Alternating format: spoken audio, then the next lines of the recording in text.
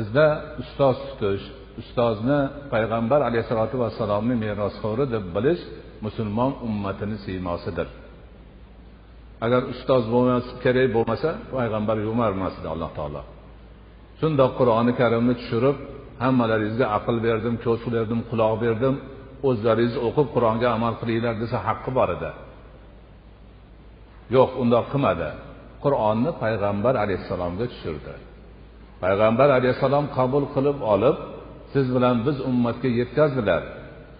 Tilovat qilishini ham o'rgatdilar. Har bir harfni tilovatini nutqini o'rgatdilar. Ma'nosini o'rgatdilar va undan chiqadigan ahkomlarni hukmlarni bajariladigan amallarni ipidan ignasigacha o'rgatdilar. Sahoba ikromlarga sahobalar tobeinlarga tobeinlar taba tobeinlarga shunaqa bo'lib silsila san'at kelmoqda. San'at iymondandir deydi ulug'larimiz. San'at iymondandir. Ya'ni payg'ambar alayhissalotu vassalomgacha boradigan ustozlarni aniqligi shu darajada kerak. Mana mana shu astag'firullohni aytish zikrga ustoz kerak ekan. Undan ahamiyatliroq ishlarga yana ham ustoz ahamiyatliroq bo'ladi. Mana shunday doim bo'lib kelgan. Lekin hozirgi kunni musibati aynan shu narsani tark qilishdir. Ustozlarga e'tibor bermasdan har kim o'zi bilganicha vaysashi musulmon millatini boshiga ko'plab kulfatlarni tushiryapti. Har kim o'zicha nimani xohlasa shuni aytadi odamlarni boshini aylantiradi turli bo'lmag'ur narsalarga chorlaydi oqibatda o'ziga ham o'zgalarga ham musulmon millatini boshiga ham ko'plab ofatlar balolar kelib yetishiga sabab bo'lishadi. Hozirgi kundagi noqulayliklarni hammasi shundan chiqyapti. Urush janjallar musulmonlarni qoni aybsiz ravishda behuda to'kilishi moli mulklari vayron bo'lib xarobga aylanishlari davlatlar butun boshli davlatlar xarobaga aylanishi kabi holatlar aynan shunaqa ishlardan kelib chiqyapti. Agar shar'iy ilmni yaxshi o'zlashtirgan payg'ambar alayhissalotu vassalomni haqiqiy merosxo'ri bo'lgan ulamolarga quloq osilganida o'shalardan maslahat olib ish qilinganida bular bo'lmas edi. O'zicha bilganini javrayveradigan bo'lgan bo'lmagan tagini tayini yo'q ustozini tayini yo'q odamlarni gapiga kirib kishilarimizni boshi aylanib hozir musibatlar ko'paydi. Har qadamda har qadamda shu. Birov telefon qilib man falon davlatdaman maza qilib yuribman savobli ish bor o'qib yuboramiz o'qib yuboramiz tezda yetib kel desa odamlar ketyapti yugurib. Nima bor u yerda? Nima qiladi? Foydami zararmi? Qanaqa? U gap yo'q. Haligi chaqirayotgan odamni ham tayini yo'q. Ketishyapti. Borib yo o'ligi kelyapti yo o'lganini xabari kelyapti yo yana qandaydir boshqa bir musibat. Bir ayol voqelikda bizni mahalla tarafda bir ayolni shunaqa telefon bilan chaqirishibdi. Falon bo'lasan piston bo'lasan jannatga to'g'ri kirasan. Undoq edi bundoq edi bolalarini bolalarini erini ota onasini tashlab ketibdi. Yo'q. U yerga borsa aytdiki endi sen bu yerga falon bo'lib kelding boshqa yerga tegasan debdi. Voy mani erim bor bolalarim bor. E ular qoldi. Xohlasa ularni kofir ular ham deb uraveradi yo'q. Bolalar tirik yetim qoldi er xotinsiz ota onasi yig'lab hukumatga murojaat qilib yuribdi ekan. Ana o'shani aqli bo'lganda edi to'xta bu bunaqa deyapti bir biladigan odamdan so'rang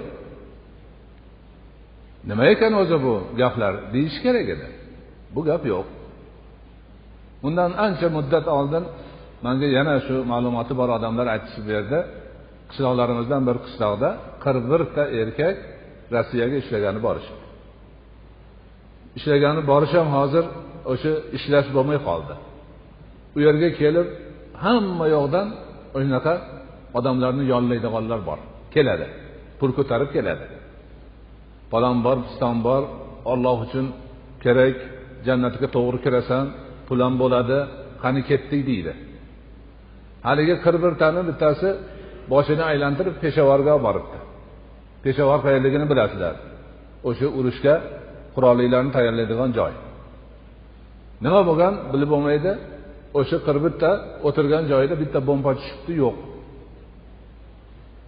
Bitta qishloq erkaksiz qolibdi yo'q haligilar.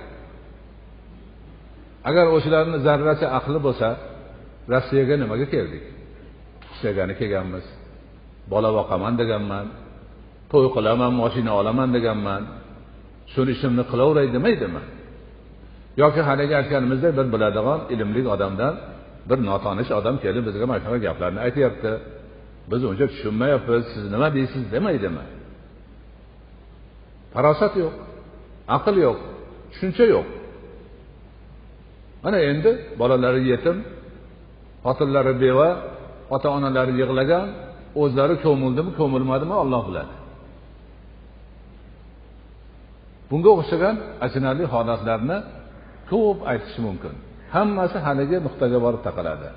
Ustozlarga ulamolarga suyanmaganlik betayinlarni orqasidan ketish kim nima desa ishonaverish mana shunaqa oqibatlar juda og'ir oqibatlarga olib kelishi bor. Shuning uchun biz aqlli bo'lishimiz hushli bo'lishimiz dinimizni yaxshi tushunishimiz. O'sha rasuli akram alayhissalotu vassalomga qanday nozil bo'lgan bo'lsa sahobalar qanday naql qilgan bo'lsa mushtahid ulamolarimiz nima degan bo'lsa hozirgi kunda ishonchli ulamolarimiz ularni bizga qanday yetkazgan bo'lsa shunday qabul qilib olishimiz kerak.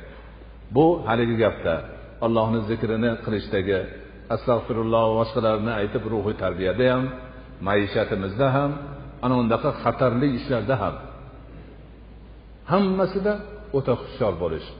Hammasida zakovat bilan ish ko'rish. Dinimizni haqiqiy hukmiga ega bo'lib o'shani o'rganib ma'rifat bilan ish ko'rish kerak. Bugun bitta savol kelyapti manga. Ertalab saharlikdan keyin javob berib qo'yay deb qilsam qilyapti. Dunyodagi mashhur bir qorini aytyapti. Falonchi qorini deydi mani bitta tanishim oti ham yo'q ismi ham yo'q hech narsasi yo'q. Qur'onni noto'g'ri o'qiydi deyapti.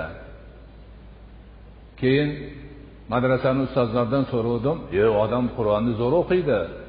U mashhur qori juda katta olim odam. Qorilarni kattalaridan deb aytdi. Aytingchi shayx hazratlari qaysi birini gapi to'g'ri deyapti? Gapni qarang. U odam o'zi mashhur qori. Madrasani ustozlari qorilar zo'r o'qiydi deyapti. Bir betayin nomi ham yo'q noto'g'ri o'qiydi desa so'rayapti yana. Farosat ham bo'lishi kerak ozmoz qarash kerak tushunish kerak. Ana o'shanda inshaalloh hammasi yaxshi bo'ladi. Ho'p zikr e, demak ma'nosidagi astag'firullohni fazli hammasini aytdik. Shu bilan birga mashoyihlarimiz aytadiki ana o'sha tavba qilib shayxdan zikr o'rgangan odam doim tahoratli yurishni o'ziga lozim tutsin. O'zi bu bor narsa. Lekin shu ruhiy tarbiya ilmida alohida ta'kidlanadi. Doim tahoratni yursin. Ertalab turib bomdodga tahorat qildimi? Qachondir tahorati ketdi. Yana darhol qilib olsin yana ketsa yana qilib olsin shunda umri doim poklik bilan o'tadi. Haligi astag'firulloh deyayotganini tahoratsiz aytsa savobi oz bo'ladi. Tahoratli aytsa savobi ko'p bo'ladi. Qur'on tilovati ham shu. Boshqa zikrlar ham shu boshqa ishlar ham shu tahoratli yurishni o'zi ham savob shuning uchun ko'pchilik buni bilib qilib yuradi lekin hozir eshitayotganlarga aytamizki kelinglar bugundan hozirdan boshlab mana shuni o'zimizga vazifa qilib olaylik. Qachon tahoratimiz ketsa darhol orqasidan tahorat olaylik va ha kecha bugun aytganimizdek astag'firullohni ixlos bilan aytib boraylik. Alloh o'zing bu suhbatlarimizni xayrli barakotli qilgin. Dinimiz diyonatimiz uchun o'zimiz oilamiz uchun elimiz yurtimiz uchun mo'min musulmonlar uchun manfaatli bo'lishini nasib etgin. Oxiratda tarozi bosadigan amallarimizni solihlariga qo'shilib bizga manfaat beradigan amallardan bo'lishini nasib etgin. Bu buyuk ramazon oyidagi ibodatlarimiz suhbatlarimizni bardavom bo'lishi barakotli bo'lishi o'zimizga yuqishi elimiz yurtimizga yuqishini o'zing nasib qilgin tushunmovchilik bilan yurgan azizlarimizga ham parvardigori o'zing rushdi hidoyat bergin qalblariga to'g'rilikni solgin xatolarini to'g'rilashni nasib qilgin وصلى الله تعالى على خير خلقه محمد وعلى آله وأصحابه أجمعين برحمتك يا أرحم الراحمين